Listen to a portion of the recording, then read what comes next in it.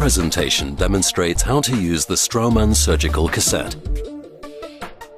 The surgical cassette is designed for secure storage and sterilization of the surgical instruments and auxiliary parts of the Straumann dental implant system. It follows a simple layout with color-coded application pathways. These pathways represent the workflow lines that guide the user through the surgical procedure.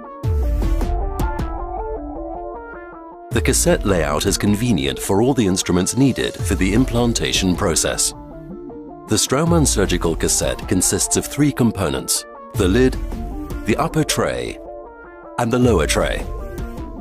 The preparation of the implant bed is done by using one surgical kit for all Straumann dental implants. The upper tray contains all the devices and drills needed for placing any Straumann dental implant. The layout of the upper tray has three horizontal areas. The lower area contains all the instruments needed for the basic implant bed preparation. Here there are two lines of drills, located one above the other, there is a line of tapered drills used for the bone-level tapered implants, and a line of non-tapered drills used for all other Straumann implants. For ease of use, pictograms indicate the respective drill lines. Alignment pins and depth gauges for checking the accuracy of the basic implant bed preparation are also located in this area. The same pins and gauges can be used with both tapered and non-tapered drills. The middle area contains all the instruments required for the fine implant bed preparation. These are profile drills and taps. In the upper part of the layout, in the grey inserts, one can find auxiliary instruments used for the implant insertion, position indicators for the Straumann Pure ceramic implant, and the spare instrument holders. At the bottom left, three round burrs are stored. They are used for flattening the alveolar crest, for marking the implant bed position, and for enlarging the entrance hole. The 2.2mm pilot drills, both tapered and non-tapered, are stored in the blue inserts. For each drill, there is a short and a long version depending on the available space in the patient's mouth. They are used for the first implant bed preparation. The 2.2mm alignment pins are also located in the blue inserts next to the pilot drills. Alignment pins are used for checking the depth and the axis of the prepared osteotomy. Following the coloured workflow line leads to the yellow inserts, where the 2.8mm tapered and non-tapered drills, as well as the depth gauges, are located. Again, there is a short and a long version of each drill. The yellow color code corresponds to the color code on the lid of the ampoule for implants with an endosteal diameter of 3.3 millimeters.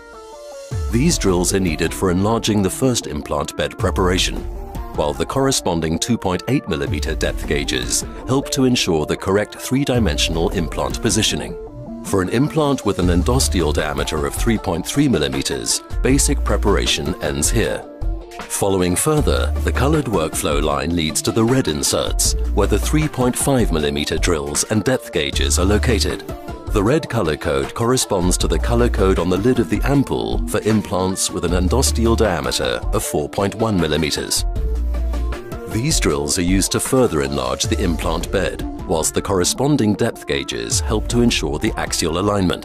This is where the basic implant bed preparation ends for implants with an endosteal diameter of 4.1 millimeters.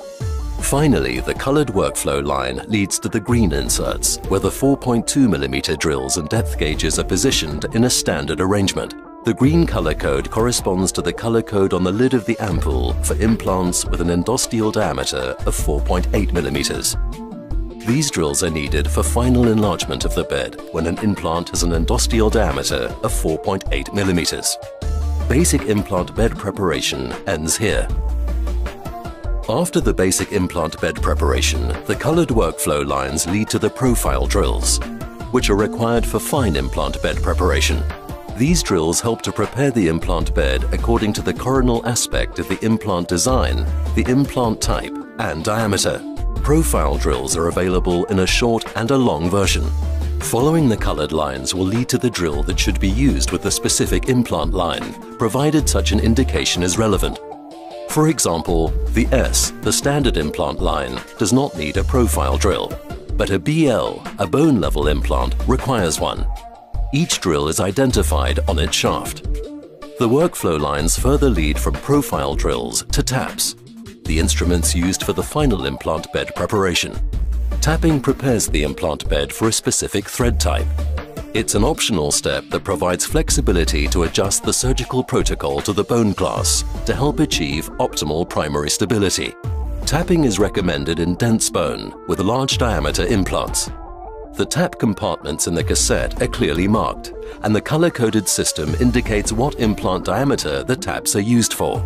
There are three types of taps, for the standard and standard plus implant lines, for the bone level, tapered effect and NNC implant lines, and finally the taps for the bone level tapered implant line. All taps are identified by marks on the shaft. The workflow lines navigate the user from a profile drill to a specific tap according to the surgical protocol for the implant.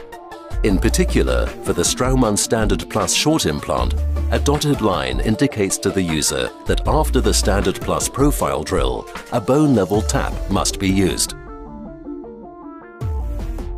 In the upper part of the cassette layout, there are several compartments with grey inserts. The instruments in these four compartments are available in three lengths.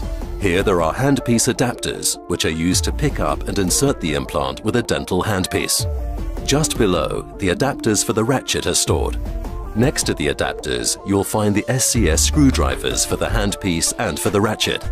These are indicated by the corresponding pictograms. SCS screwdrivers are used to pick up healing caps and healing abutments. They improve efficiency by connecting caps securely to the screwdriver and safeguarding them from being accidentally dropped. The same SCS screwdrivers can be used for handling the impression components and most other Straumann prosthetic components. These grey inserts contain position indicators for the Straumann Pure Ceramic implant. The position indicators visualize the implant shoulder and are used to check the position, angulation and restorability of the Straumann Pure Ceramic implant monotype. The remaining grey inserts are left for other instruments that the clinician may need. The lower tray of the surgical cassette is set aside for storage of the diagnostic T, the distance indicator for bone level and tissue level implants, the ratchet, the torque control device, the holding key, and short and long tweezers. After surgery, residues of blood, saliva, tissue or bone must be removed from the instruments and drills immediately. For cleaning the drills by ultrasound, the Straumann ultrasonic cleaning cassette can be used. The ratchet must be disassembled for sterilization and storage. The brochure Care and Maintenance of Surgical and Prosthetic Instruments contains more detailed information.